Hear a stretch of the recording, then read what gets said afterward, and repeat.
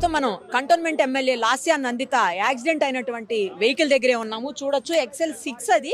కొత్త కారు ఇంకా నంబర్ కూడా రాలేదు. ఎంత దారుణంగా డ్యామేజ్ అయిందో కళ్ళకు కనబడతా ఉంది. తాకట్టులో ఉన్న బంగారాన్ని విడిపించి ఆ రోజు ఆన్లైన్ రేటుకే మేము కొంటాం. Sharma gold company. యాక్చువల్లీ ఆమె ఒక ప్రైవేట్ పార్టీకి అటెండ్ అయ్యి తిరిగి మళ్ళీ ఆమె ఇటు పటాన్ చెరువు వైపు వెళుతూ ఉండగా యాక్సిడెంట్ అయిందని చెప్తున్నారు. సుల్తాన్పూర్ అనే ఒక ప్లేస్లో యాక్సిడెంట్ అయింది. కానీ ఇప్పుడు వెహికల్ మాత్రం అక్కడ లేదు. ఒక త్రీ కిలోమీటర్స్ ముందుకు వచ్చి తీసుకొచ్చేసి ఎగ్జిట్ నెంబర్ త్రీ దగ్గర అంటే పటాన్ వెళ్ళే వెళ్ళే ఎగ్జిట్ నెంబర్ త్రీ దగ్గర వెహికల్ని పార్క్ చేశారు. ఎందుకంటే ఓఆర్ఆర్లో పెడితే ప్రమాదం కాబట్టి వెహికల్స్కి ఇబ్బంది అవుతుంది కాబట్టి తీసుకొచ్చి ఇక్కడ పెట్టారు. ఎంత దారుణమైనటువంటి యాక్సిడెంట్ అనేది అసలు పాటు పాటు అసలు ఏది పనికి రాకుండా పోయినటువంటి సిచ్యువేషన్ కనిపిస్తుంది చూడండి.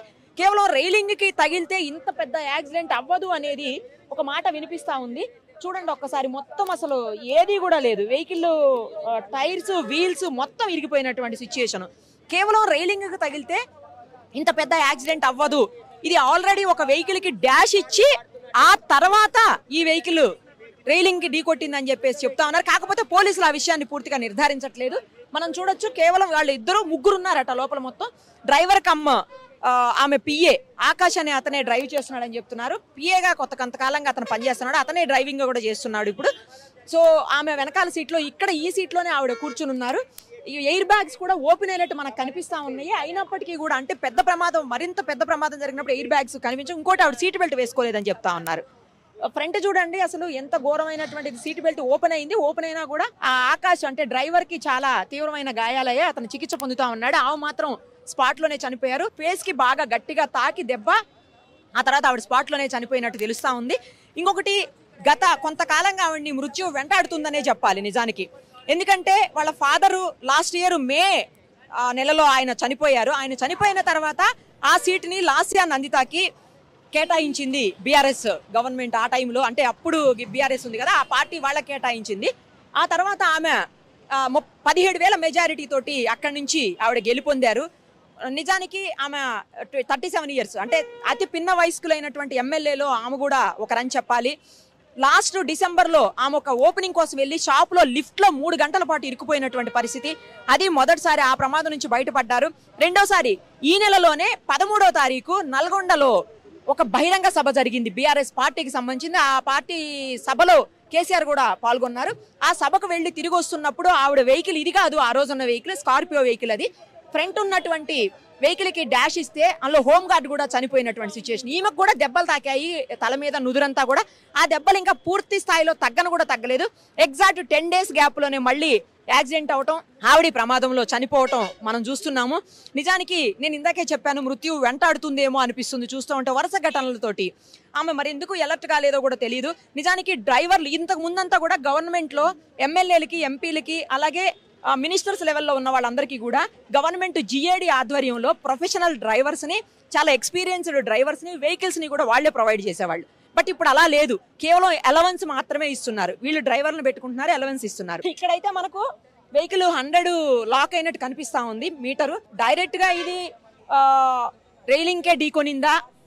లేదు అంటే ముందు వెహికల్కి ఢీకొని తర్వాత రైలింగ్కి ఏమన్నా ఢీకొట్టిందా అనేది మాత్రమే క్లారిటీ లేదు. ఒకసారి ఆ స్పాట్ కూడా చూద్దాము రైలింగ్కి ఢీకొట్టినటువంటి స్పాట్ వెహికల్ చూస్తుంటేనేమో కంప్లీట్గా హండ్రెడ్ పర్సెంట్ వెహికల్ వేరే వెహికల్ని డాష్ ఇచ్చిన తర్వాతనే రైలింగ్కి గుట్టినట్టుగా అనిపిస్తూ ఉంది. బట్ అక్కడ సిచ్యుయేషన్ చూస్తే మాత్రం కేవలం రైలింగ్కి తగిలినట్టుగానే కనిపిస్తూ ఉందంట. ఇది పూర్తి స్థాయిలో ఇంకా బయటికి అంటే పోలీస్ ఇన్వెస్టిగేషన్లో కానీ మనకి ఇన్ఫర్మేషన్ వచ్చేటువంటి అవకాశం కనిపిస్తుంది. ఇంత చిన్న ప్రమాదం అయితే రైలింగ్ జరిగితే జరగదు అని చెప్పేసి ఎక్స్పీరియన్స్ ఉన్న వాళ్ళందరూ చెప్తున్నారు. ఎక్సెల్ సిక్స్ మరి ఇలాంటి ఇంత సేఫ్టీ ఎందుకంటే ఎక్సెల్ సిక్స్ ఏమి అంత సేఫ్టీ విషయంలో వస్తే దానికి ఫోర్ రేటింగ్ ఉంది. మరి అలాంటి వెహికల్లోనే అంటే ఒక రకంగా బాగానే ఉన్నట్టు సేఫ్టీ రేటింగ్ తర్వాత ఎయిర్ బ్యాగ్స్ కూడా ఉన్నాయి. అయినప్పటికీ కూడా ఇంత పెద్ద ప్రమాదానికి లోనయ్యి ఆవిడ చనిపోవటం మాత్రం అటు ఆ కంటోన్మెంట్ ప్రజలకు కావచ్చు ఆమె కుటుంబానికి కావచ్చు అలాగే బీఆర్ఎస్ పార్టీకి కావచ్చు తీరం లోటనే చెప్పాలి. ఇప్పటికే బీఆర్ఎస్ పార్టీ నేతలందరూ కూడా స్పందించారు. ముఖ్యంగా ముఖ్యమంత్రి సీఎం రేవంత్ రెడ్డి గారు కూడా స్పందించి ఆయన ఖచ్చితంగా ఆమె ఆత్మకు శాంతి చేకూరాలి. నాకు చాలా ఫ్రెండ్ ఆయన మంచిగా ఉండేవాళ్ళు నాతోటి సాయన్న గారు అని వాళ్ళ నాన్నగారిని కూడా గుర్తు చేసుకున్నారు. అతి చిన్న వయసులోనే ఈమె ప్రమాదానికి గురవటం దారుణమైన విషయం అని ఇప్పటికే బీజేపీ నేతలు బండి సంజయ్ గారు తర్వాత హరీష్ రావు గారు కేటీఆర్ గారు కూడా. గతంలో ఒక one week ten days back ఇద్దరు కలిసి కూర్చున్నటువంటి ఒక ఫోటోని పిక్ని షేర్ చేస్తూ ఈ రోజు ఈ వార్త వినాల్సి రావడం దురదృష్టకరం అని చెప్పేసి ఆయన కూడా ట్వీట్ చేశారు. ఒక్కసారి చూడండి. ఎంత దారుణంగా ఉందో వెహికల్ అసలు. చూస్తుంటేనే భయం వేస్తుంది వెహికల్ చూస్తుంటేనే. ఎంత దారుణమైనటువంటి సిచ్యుయేషన్లో ఈ ప్రమాదం జరిగి ఉంటుంది అనేది అసలు ఏ ఒక్క పార్ట్ కూడా లేదు అసలు. ఇక్కడ చూడండి. ఇదంతా కూడా సిమెంట్ లాంటిది ఏదో దీని మీద పడింది డస్ట్ లాంటిది కూడా. ఇది రైలింగ్ అలాంటిది ఏమీ ఉండదు. ముందున్న వెహికల్కి ఏదో డాష్ ఇచ్చారు అనేదే అందరూ కూడా అంటున్నటువంటి పరిస్థితి. కానీ ఏదైనా జరిగిన సంఘటన మాత్రం అత్యంత దారుణమైన విషయం. పొద్దున్న ఐదు గంటల పావు టైంలో ఐదు పావు ఐదు ఇరవై ఆ టైంలో జరిగిందని చెప్తా ఉన్నారు. ఇమీడియట్గా ఐదు నిమిషాల గ్యాప్లోనే ఇక్కడ నుంచి పోలీసులు వెళ్ళడం ఆ వెహికల్ని అక్కడి నుంచి షిఫ్ట్ చేసి ఇక్కడ తీసుకొచ్చి పెట్టారు. ఇంకా పూర్తి స్థాయిలో ఎంక్వైరీ జరిగితే పైకి ఇంకోటి ఏంటంటే ఆకాష్ అనే వ్యక్తికి గాయాలయ్యి తీవ్రంగా గాయాలయ్యాయి ఎవరైతే డ్రైవింగ్ చేస్తున్నారో అతనికి ఆమె పిఏ సో అతని కూడా బయట కోలుకొని బయట పడితే అప్పుడు మనకి పూర్తి స్థాయిలో అసలు ఏం జరిగింది? నిజంగా వెహికల్ రైలింగ్కే ఢీ కొట్టారా? లేదు అంటే ముందు ఉన్నటువంటి ఏదైనా వెహికల్కి గట్టిగా డాష్ ఇచ్చిన తర్వాత ఈ వెహికల్ మళ్ళీ వెళ్ళి రైలింగ్ ఢీ కొట్టారా? తర్వాత ఎంత స్పీడ్లో ఉన్నారు? ఎందుకంటే ఎర్లీ మార్నింగ్ పైగా ఫాగ్ కూడా ఉందని చెప్తా ఉన్నారు. ఫాగ్ ఏమన్నా కనిపించక అట్లా జరిగిందా? లేదు ఆ టైంలో నిద్ర నిద్ర ఉన్నటువంటి పరిస్థితి కూడా ఉంటుంది కాబట్టి తెల్లవారుజామున అంటే ఆ టైం అలా ఏమన్నా జరిగిందా? ఈ పూర్తి వివరాలు అయితే రావాలంటే మాత్రం కొంచెం టైం పట్టేటువంటి అవకాశం ఉంటుంది. ఒక్కసారి ఎక్కడైతే ప్రమాదం జరిగిందో ఆ స్పాట్కి కూడా వెళ్ళి చూసేద్దాం. రైలింగ్ దగ్గర ఏం జరిగిందో కూడా ఒకసారి చూసేద్దాం రండి. ప్రస్తుతం మనం ఉన్నటువంటి ప్లేస్ ఓఆర్ఆర్లో బచ్చుగూడ అనే ఏరియా ఇది వచ్చేసి సుల్తాన్పూర్ పటాన్ చెరువు మధ్యలో ఉంది. సో ఇక్కడే ఈరోజు ఉదయం ఏదైతే cantonment MLA Lasya Nanditha car accident అయిందో అదే ప్లేస్ ఇది.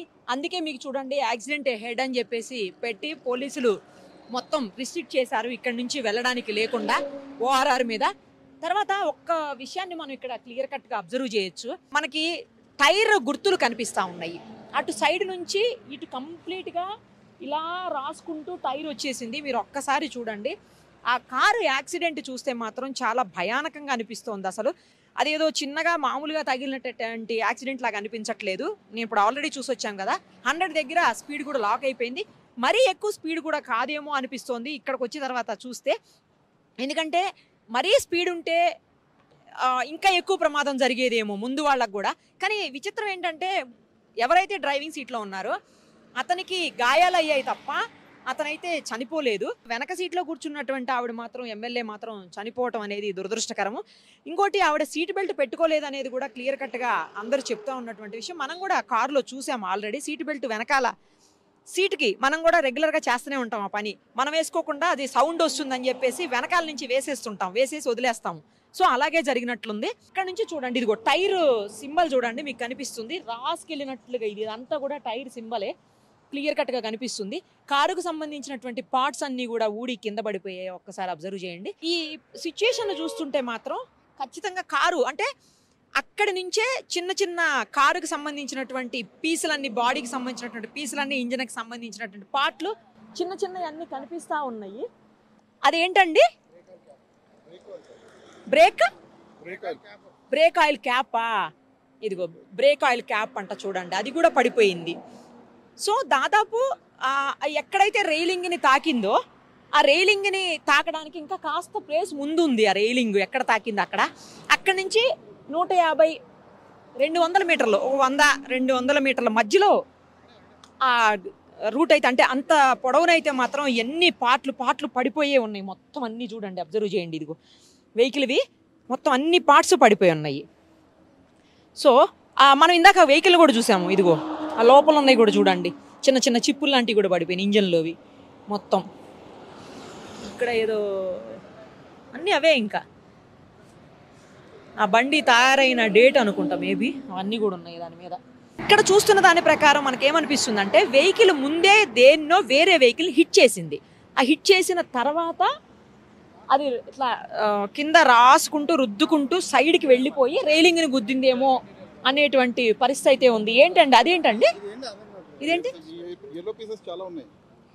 లైట్ వా ఇవి.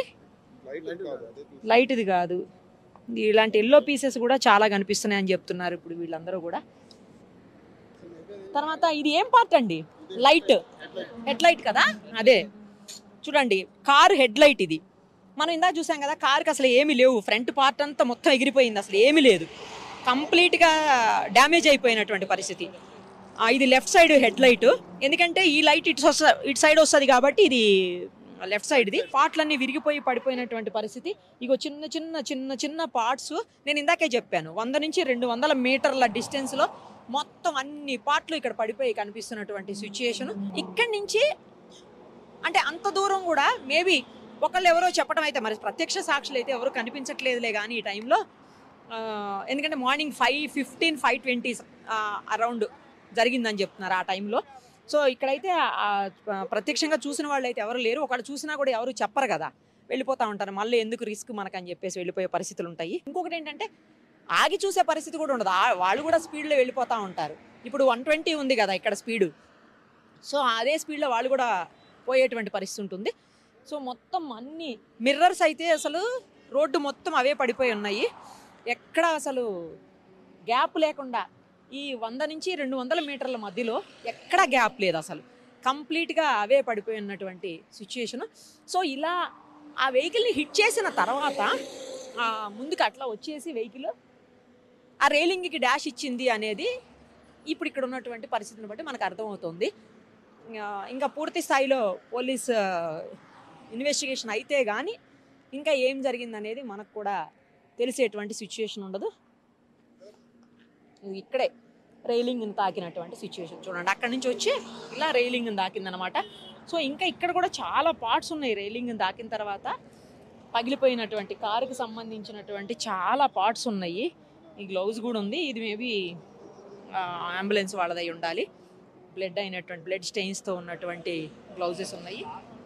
ఈ రైలింగ్ కూడా చూడండి సైడ్కి వెళ్ళిపోయింది. ఎక్కడైతే బండి తాకిందో అక్కడ పూర్తిగా సైడ్కి ఇట్లా వంకర అయిపోయింది చూడండి. బెండ్ అయిపోయినటువంటి సిచ్యుయేషన్ సో ఇక్కడతో ఆగలేదు. ఇంకా ఆ పార్ట్స్ అన్నీ కూడా అవతల అవతల అవతల అవతల అట్లా పడుతూనే ఉన్నాయి. ఇగో చూడండి.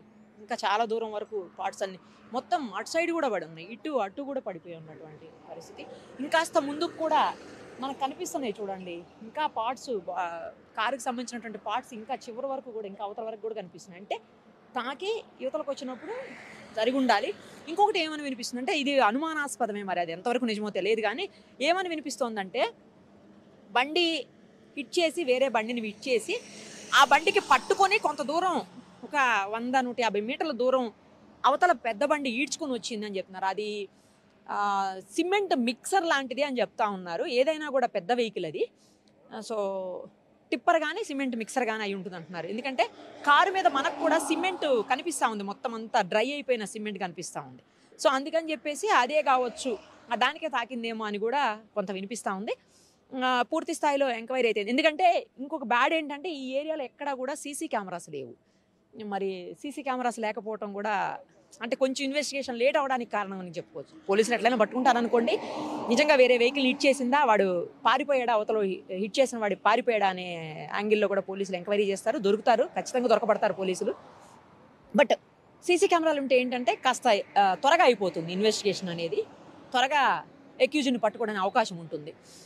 ఏది అయినా కూడా మరి ఇక్కడ చూస్తుంటే అయితే పెద్ద స్పీడు మనకు అక్కడ లాక్ అయింది కూడా హండ్రెడ్ కాబట్టి స్పీడ్ కూడా కనిపించలే. పర్మిటబుల్ ఏదైతే పర్మిటబుల్ స్పీడ్ ఉందో ఇక్కడ ఎంత పర్మిట్ చేస్తుందో ఈ రోడ్డు అంతే స్పీడ్లో ఉంది వెహికల్ మరి. తర్వాత ఇంకొకటి అది ఎక్సెల్ సిక్స్ కాబట్టి ఎక్కువ స్పీడ్ పోవడానికి కూడా ఉండదు. Hundred one ten one twenty బాగా అయితే అంతకంటే ఉండదని చెప్పి. ఈ రోడ్డు కూడా వన్ ట్వంటీ పర్మిట్ చేస్తుంది. సో అలాంటప్పుడు మరి స్పీడ్గా లేకున్నా కూడా వెనకాల నుంచి వచ్చిన వెహికల్ ఫాగ్ కూడా ఉందంటున్నారు కాబట్టి ఆ టైంలో అది జరిగి ఉంటుందా? లేకపోతే వాళ్ళు ఒక ప్రైవేటు కార్యక్రమానికి ఫంక్షన్కి అటెండ్ అయ్యి వస్తున్నారని చెప్తున్నారు కాబట్టి నిద్ర లేకపోవటం వల్ల ఏమైనా అది కూడా ఇష్యూ అయిందా? ఇవన్నీ కూడా ఆ ఆకాశ్ అనే అతను డ్రైవర్ కమ్ ఎవరైతే పిఏ ఉన్నారో అతను కోలుకుని హాస్పిటల్ నుంచి బయటకు వస్తే కానీ ఇంకా పూర్తి స్థాయిలో క్లారిటీ రాదు పోలీస్ ఎంక్వైరీలో. ఏది ఏమైనా కూడా ఒక యంగ్ ఎమ్మెల్యేని కోల్పోయినటువంటి పరిస్థితి తెలంగాణ రాష్ట్రం. వన్ ఇయర్ కూడా అవ్వలేదు వాళ్ళ ఫాదర్ చనిపోయి. ఇంతలోనే గత మేరేలో ఆ ఇన్సిడెంట్ మళ్ళీ ఇంతలోనే ఈమెడ చనిపోవటం ఈ అమ్మాయి చనిపోవటం కూడా ఈ ఎమ్మెల్యే చనిపోవటం అనేది ఆ కుటుంబానికి కంటోన్మెంట్ ప్రజలకు అలాగే తెలంగాణ రాష్ట్రానికి కూడా తీరని లోటు అని చెప్పాలి. ఎందుకంటే మూడు నెలలు మూడు నెలల్లో మూడు ప్రమాదాలు ఆల్మోస్ట్ ఆమెకు. ఆమె ఎమ్మెల్యే అయిన దగ్గర నుంచి కూడా డిసెంబర్లో ఒక ప్రమాదం. మళ్ళీ ఈ నెల పదమూడో తారీఖునే ఇంకో ప్రమాదం. ఈరోజు ఈ ఇన్సిడెంట్. చివరికి ఆమె ప్రాణాలు కోల్పోయినటువంటి పరిస్థితి. ఏది ఏమైనా పూర్తి స్థాయిలో ఇన్వెస్టిగేషన్ అయితే గానీ నిజానిజాలన్నీ కూడా బయటికి రావు.